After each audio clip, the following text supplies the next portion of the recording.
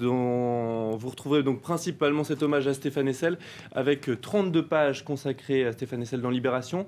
L'Humanité en fait aussi sa une, je vous le montre rapidement. Voilà, la euh, photo pleine page également, mais en couleur, l'indigne Stéphane Essel. L'indigné. L'indigné, pardon, oui, pas l'indigne, excusez-moi. Et puis on termine avec le Parisien rapidement. Tout autre chose là, en une, ce sont ces nouveaux radars qui seront installés dans des voitures banalisées. Ils seront indétectables. Cela fait déjà polémique. Impossible d'y échapper, nous dit le Parisien. Merci beaucoup Pierre. Merci encore Karina. Restez avec nous d'ici quelques minutes. C'est Elisabeth Alain qui prend le relais pour un nouveau journal.